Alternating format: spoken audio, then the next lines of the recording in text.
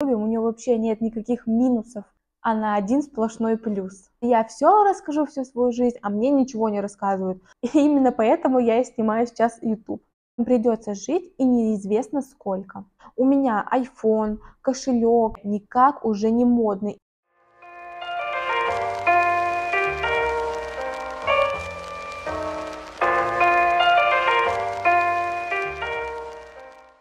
Ребят, всем привет! Я решила записать видео итоги года 2023. У меня есть небольшие заметки в телефоне, которые я набросала, поэтому можем начинать. Сначала я хочу рассказать о событиях, которые произошли в 2023 году. Самое важное и самое главное событие, которое я считаю произошло со мной, это то, что мы завели кошку. Нашу любимую кошку Чуню. Фотки прикреплю. Кошку мы взяли 31 января и с тех пор ни разу не пожалели. Мы ее очень сильно любим, у нее вообще нет никаких минусов, она один сплошной плюс.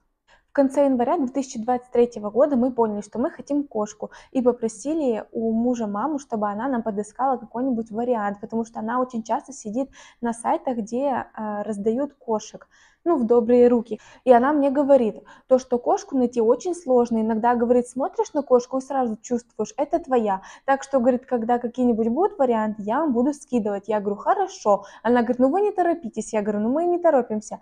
И просто через пять минут она мне скидывает фотографию вот нашей кошки Чуни. У меня загораются глаза, я говорю, Максим, да это наша кошка, я вижу ее, что она наша. И все.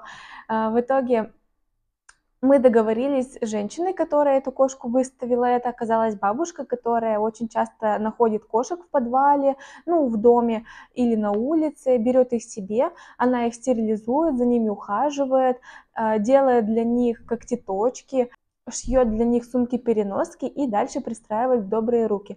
Так и оказалось с нашей кошкой. Она все для нее подготовила и выставила ее ВКонтакте. В итоге вот мы ее взяли. Она даже ей подготовила еду, когда мы ее забирали. То есть она положила ей индейку и пюрешку из телятины, говорит, вот она это очень любит, пожалуйста, ей вот это покупайте и давайте. И, в общем, э, с тех пор мы очень счастливы, что у нас появилась наша любимая кошечка. Это было первое достижение, которое я считаю самым главным в 2023 году. Следующее достижение – это наша свадьба. Наша свадьба – это масштабное мероприятие, которое мы все ждали, все родственники, все друзья. Мы очень долго к ней готовились, и я думаю, что я запишу подробное видео о нашей свадьбе. Также не могу не отметить свадьбы наших друзей и самое главное, свадьбу нашей сестры. Это также были масштабные мероприятия. А, у моей подруги была свадьба 5 мая, также у моей второй подруги была свадьба 9 сентября, ну и свадьба моей сестры 17 ноября совсем недавно. Мы очень круто погуляли, каждая свадьба была индивидуальна и по-своему хороша. И следующее самое масштабное событие, как вы видите, у меня все события масштабные. Я закончила медицинский университет, сдала аккредитацию, сдала все госэкзамены и ура, 6 лет позади. И тут же еще кроется одно масштабное событие, я поступила в ординатуру и теперь учусь на врача-онколога. Вы спросите, сколько я могу учиться, я уже сама не знаю. Я уже не хочу учиться, я просто хочу дома отдыхать и спать. Я не хочу больше учиться вообще. Я постоянно жалую своему мужу, как же я устала учиться, я не могу. Он мне говорит, учись, Ульяна. Я уже свое отучился. Хотя он учился всего 9 классов и еще в колледже 3 года. А я 11 классов, потом еще 6 и сейчас еще 2. Извините, у меня очень много, получается, лет, сколько я учусь. Самое главное, это чтобы обучение было не зря. Главное поумнеть и далее применять свои знания в практике. Также я считаю успехом, что я сделала ботекс 24 года. А, делала я его в конце июля, и вот сейчас уже на 1 или там 2 января, что ли, я записалась снова. Ну и, наверное, последнее, что бы я хотела сказать, свой успех, это то, что я наконец-то начала снимать видео на YouTube, стараюсь развивать это, даже вот сняла студию, чтобы записать итоги года, и надеюсь, что у меня все получится. А далее я бы хотела сказать, какие уроки и инсайты я вынесла в 2023 году. Номер один. Сила в знании. Человек, который много знает, он очень свободный, он раскрепощенный, И на 2024 год я ставлю цель поумнеть, очень сильно поумнеть, читать умные книги, учебники и смотреть познавательные фильмы. Урок номер два. Не нужно завидовать жизням, работам, семье других людей, чужим инстаграмам, ютубам. И самое главное, что не нужно обесценивать чужой труд. Вот, допустим, я работаю в аптеке, постоянно там устаю, э, прихожу домой немножко злая, но это ладно. И я постоянно думала, вот буду блогером, как же это легко. На самом деле это вообще нелегко. Нужно постоянно искать красивые локации, красиво снимать, пытаться что-то показывать, везде ходить гулять. И вообще, на самом деле, очень-то непросто рассказать что-то на камеру и бояться осуждения других людей, тех же самых друзей или родственников. И вот кто-то думает, что, допустим, у другого человека очень легкая работа, и думает он такой, ну вот, я буду как он, пойду на его работу, там вообще легкотня, ничего делать не надо, много денег платит. По итогу в каждой профессии есть свои трудности, свои сложности, свои проблемы. Каждый на своей работе устает, поэтому не нужно гнаться за кем-то другим, нужно преуспеть именно в своем деле. Номер три. Не нужно навязываться к старым друзьям. Когда я общалась с девочкой, постоянно ей все рассказывала, все свои секреты. Вообще очень много реально всего рассказывала, с которым мы ранее дружили очень хорошо. И постоянно ей задавала какие-то вопросы, но на них она мне не отвечала и говорила, я тебе потом скажу, я тебе потом расскажу. И в итоге она мне так ничего и не рассказала. Зачем я вообще к ней навязываюсь?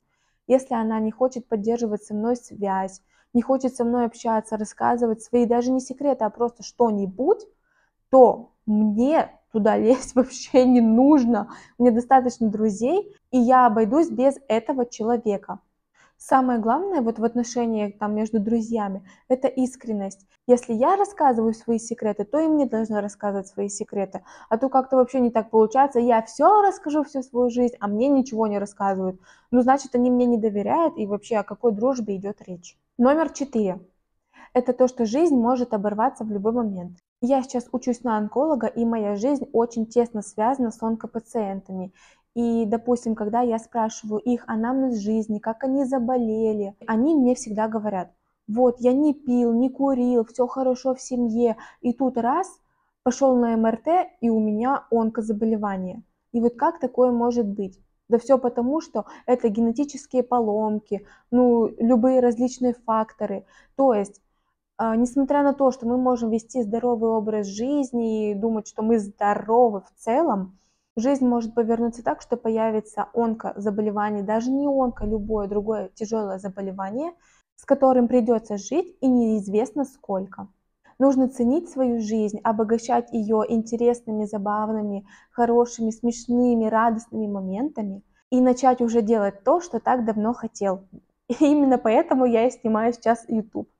И следующая рубрика, которую я хочу ввести в этом видео, это топ самых-самых-самых бесполезных, ненужных покупок или подарков, которые мне не пригодились, не понравились или я их просто видеть не хочу. Номер один. Это кормушка для птиц. А, мы с мужем купили такую кормушку на Wildberries, я ее красиво раскрасила, повесила ее на окно. У нас окно на девятом этаже и к нам не прилетела ни одна птица, хотя мы насыпали самую разную крупу, но к нам никто не приехал. В итоге я эту кормушку кому-то отдала, подарила или даже ее уже выкинули. В общем, это была моя бесполезная покупка. Номер два. Это сумка, которую я купила для выпускного в медицинском университете. То есть у меня были бежевые туфельки, и мне нужна была бежевая сумка. И я купила сумку с ремешком. Там чередовались ремешок из железа и из пластика, из железа и из пластика. Сначала вроде она мне показалась очень интересной, такой прикольной, милой. Она стоила очень прям дешево, ну, наверное, рублей 400. В общем, прикольная как бы сумка, пока в нее не положишь что-нибудь. У меня iPhone, кошелек, ключи, помада. И из-за груза, который был в сумке, ну я бы не сказала, что там было очень много. То есть, ну вот все, все, что я перечислила, это немного весит. Цепи на ремешке постоянно вырывались. И я, наверное, вот за вечер выпускного я чинила эту сумку раз сто. Вот реально раз сто. Все, в итоге я эту сумку то ли выкинула, то ли сдала, я не знаю, и она мне больше не нужна. И следующее это был лазер для кошки. То есть, знаете, такая штучка, она светится и отражается, как будто мышка. И вот я купила это для своей кошки, чтобы она играла. В итоге она вообще не реагировала на этот лазер, он ей был совершенно бесполезен и не нужен.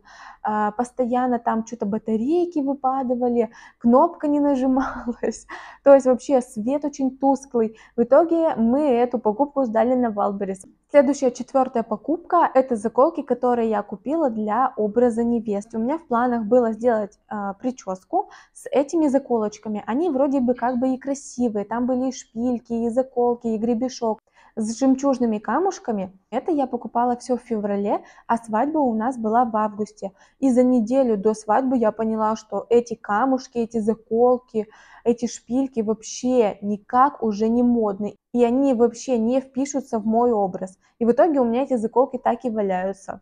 И последняя, пятая покупка, это был подарок, который я подарила своему мужу. Это был сертификат полет на самолете. Там нужно было лететь 15 минут пилот бы дал порулить. По итогу мы были в небе не 15 минут, а, наверное, минут 7. Просто полетали очень низко, ему не давали порулить. Вообще особо нам ничего про самолет не рассказали. То есть мы просто сели, пристегнулись, пролетели и вышли. И все. То есть это была бесполезная покупка, стоил этот сертификат, по-моему, тысяч, может быть, 5-500, что ли. Если вы летали уже на самолете много раз, и тем более прыгали с парашютом, как мы, то полет на вот таком маленьком самолете, прикреплю фото, это самое-самое бесполезное развлечение. Это видео подошло к концу, и 2023 год также подходит к концу. Я очень счастлива и рада, что вы смотрите мои ролики. Продолжайте в том же духе, пожалуйста, подписывайтесь, ставим лайки, комментарии. Поздравляю вас с наступающим 2024 годом. Надеюсь, что вы счастливы и все ваши мечты сбываются.